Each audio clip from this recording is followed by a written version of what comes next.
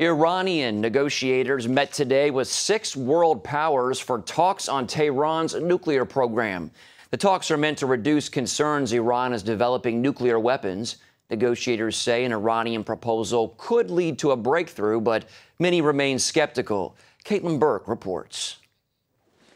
Negotiations are underway between Iran and the U.S., Russia, China, Britain, France, and Germany. The world powers are approaching the nuclear talks with caution.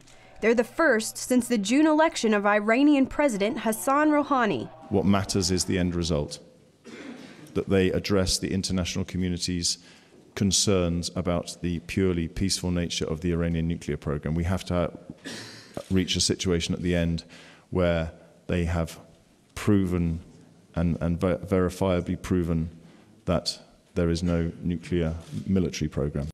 Iran's uranium enrichment program is the main concern of the world powers. Enriched uranium can be used either to power reactors or as a part of a nuclear bomb.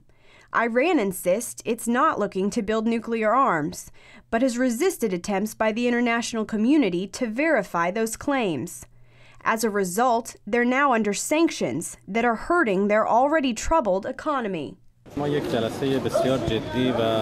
no longer want to walk in the dark and uncertainty and have doubts about the future. The aim, the path, and the time frame should be clear so that we can achieve different steps within a certain time frame.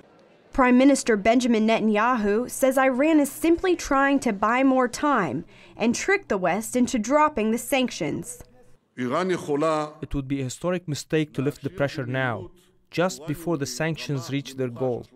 And particularly now, we cannot give in and must keep up the pressure. The two day talks between Iran and the six world powers are being held in Switzerland. No final deal is expected. But if the Iranians succeed in building trust, the talks could lead to a deal in the future. Caitlin Burke, CBN News.